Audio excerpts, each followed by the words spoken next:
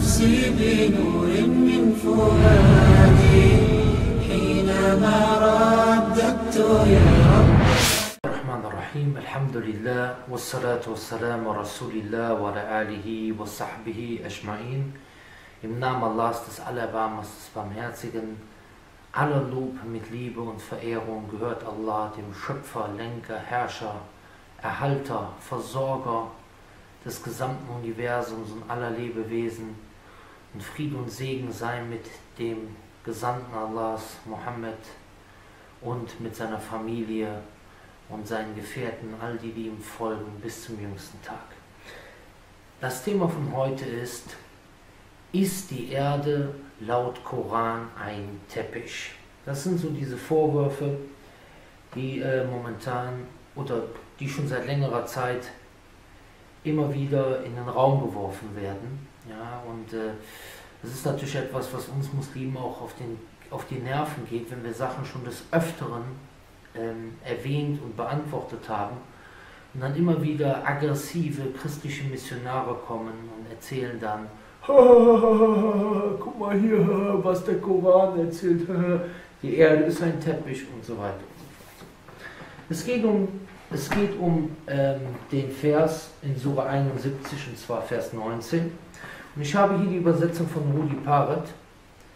Und da habe ich dann damals sogar an dieser Sura hier vier Fragezeichen gemacht, um mir eine Sache zu beantworten. Hier steht dann in Vers 19, und Gott hat euch die Erde zu einem flach ausgelegten Teppich gemacht. Und genau mit dieser Übersetzung kommen dann die christlichen Missionare. Guck mal, die haben gedacht, die Erde ist ein Teppich. So. Müssen wir erstmal gucken. Erde, das Wort Erde, was kann, was kann das überhaupt bedeuten im Arabischen? Ich habe extra, damit man das auch sieht, äh, dass ich mich jetzt hier nicht auf, äh, nur auf islamische Quellen beziehe, sondern ich habe hier das Wörterbuch, übrigens ein sehr schönes Wörterbuch, Langenscheid, das einfach, aber schön kompakt, man findet fast alle Wörter, Langenscheids Taschenwörterbuch Arabisch, ne? Von Lorenz Kropfitsch, Dr. Lorenz Kropfitsch, nicht Muslim. Und da findet man dann das Wort Art, Wallahu ja'alakum al-arda bisata, ja, bisata, dieses Wort Art, Erde, hat also folgende Bedeutungen hier. Bei ihm, das ist ein ganz, das ist einem Nicht-Muslim geschrieben. Erde kann bedeuten Erde, kann bedeuten Boden, kann bedeuten Land, kann bedeuten Gebiet, kann bedeuten Grundstück. Das heißt, hiermit muss nicht unbedingt hier der Planet Erde gemeint sein. Ja? Erstmal so. Er hier übersetzt übrigens das Wort Bisata anders, das ist äh, Frank Bubenheim. Er übersetzt, und Allah hat euch die Erde zu einer ausgebreiteten Unterlage gemacht, das heißt, wie weit gemacht für euch. Ja? So. Aber wenn wir jetzt das Wort Art als Boden übersetzen, man sagt zum Beispiel, der ist auf dem Art gefallen, auf den Boden gefallen. Man nicht, der ist auf den Planeten Erde gefallen, der ist aus dem Universum runtergeflogen auf den Planeten Erde, sondern auf dem Boden. Dem Boden, das heißt, das ist die Erdkruste. Das ist dieser Boden, auf dem wir gehen. Ja? Und wenn wir uns das mal genau angucken, ja, das heißt, Allah hat diesen Boden, auf dem wir gehen, wie einen Teppich, das ist eine, das, das könnte man Metapher nennen, wie eine, ein Teppich gemacht. Ja? Was ist ein Teppich? Ein Teppich ist etwas, was man über einen anderen Boden legt, damit man diesen Boden besser begehen kann oder damit es schöner aussieht. Deswegen hat man einen Teppich. So. Und jetzt schauen wir uns mal an, was die moderne Wissenschaft herausgefunden hat. Ich habe hier zum Beispiel die Seite Planet Wissen, Naturtechnik, Strich Energie, Schrägstrich Erdwärme, Porträt.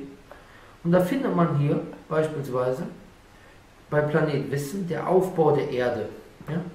Da steht hier, die, als Erdkruste bezeichnet man den Boden, Boden, was haben wir gesagt? Das heißt, wir haben den Boden für euch zu einem Teppich gemacht. Den Boden, auf dem wir Menschen mit unseren Füßen stehen. So wie man auf einem Teppich steht, so stehen wir auf dem Boden. Allah hat für euch den Boden zu einem Teppich gemacht. Wie ein Teppich, auf dem man geht. Ja? und dass das metaphorisch ist, das sieht man daran, weil jeder weiß, dass wir nicht wortwörtlich auf einem Teppich stehen. Das weiß jeder, dass das hier kein Teppich ist. Jeder weiß, ein Teppich ist normalerweise etwas, was aus Stoff hergestellt wird. So. Aber hier ist es halt wie ein Teppich, etwas, was über etwas anderem liegt. Heute weiß man durch die moderne Wissenschaft, dass wir eine Erdkruste haben. Und ich lese das mal hier vor, was hier steht. Als Erdkruste bezeichnet man den Boden, auf dem wir Menschen mit unseren Füßen stehen.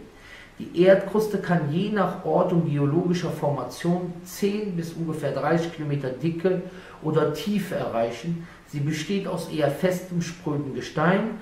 Danach beginnt langsam ein fließender Übergang in den Erdmantel. Aha, also das heißt, dieser Teppich namens Erdkruste liegt über einem anderen Boden namens Erdmantel. Das ist also wie mit einem Teppich. Der Teppich liegt beispielsweise über Fliesen. Und so liegt die Erdkruste, der Boden, auf dem wir gehen. Allah hat für euch den Boden zu einem Teppich gemacht, wie, wie ein Teppich über dem Erdmantel.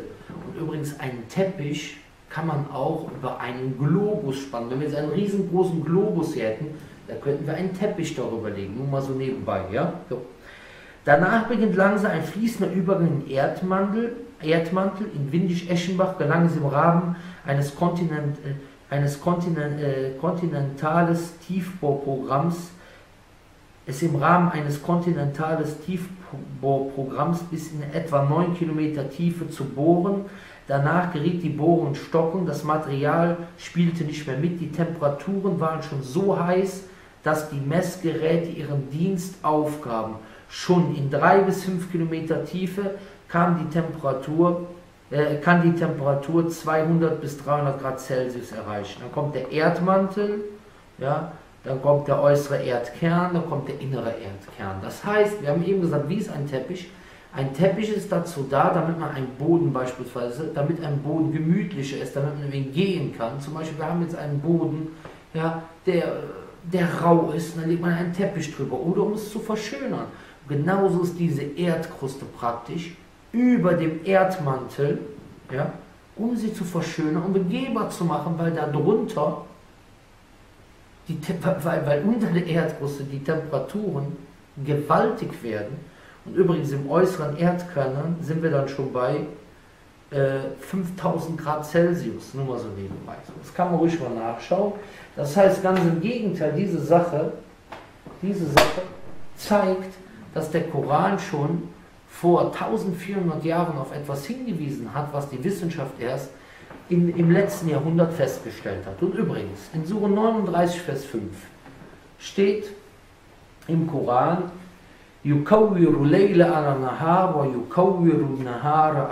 Dieses Wort, Kawwara, ich habe jetzt hier, ach ja übrigens, damit es auch jeder nachschlagen kann, damit es nicht heißt, hier Pierre Vogel erzählt einen vom Weihnachtsmann. Ja, hier steht übrigens das Wort Art, ist auf der Seite 37 in diesem Taschenwörterbuch, ja, von Langenscheid. Dann haben wir hier von Hans Wehr arabisches Wörterbuch für die Schriftsprache der Gegenwart. Ja? Und hier finden wir dann auf Seite 1127 das Wort Kawara aus der Sure 39, Vers 5. Yukawiru layla ala nahar wa yukawiru nahara ala layl. Das ist sozusagen, und jetzt schauen wir mal, welche Bedeutung das Wort Kawara hat zusammenrollen, wickeln, zusammenwickeln, herumwinden, herumwinden, rundkugelförmig machen. So, und das zeigt, das zeigt, ja, dass die Erde, er dreht die Nacht über den Tag, er windet den Tag über die Nacht, die Nacht über den Tag.